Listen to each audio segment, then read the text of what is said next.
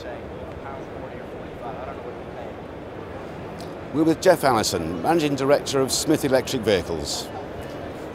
Geoff, um, I believe you managed to get the payload up on the transit electrics you produce. Um, have, you, have you managed this? Um, over the past, uh, certainly the last 18 months, we've been working on developments on battery technology, on drivetrain technology, on lighter gearbox, ratio change, and that's enabled us to take the payload on a transit van, uh, our Edison product, up from approximately 860 kilograms to about 1160 kilograms now, which means it's now comparable with its diesel equivalent. That's really just down to the improvements in battery technology mainly.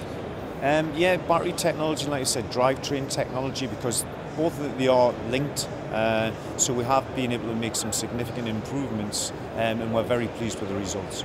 Okay, and uh, you've also just introduced the crew cab uh, transit, or the cabin van as they call it.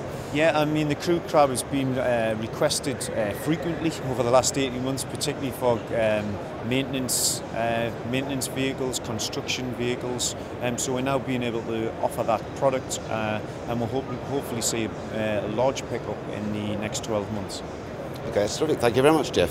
Thank you.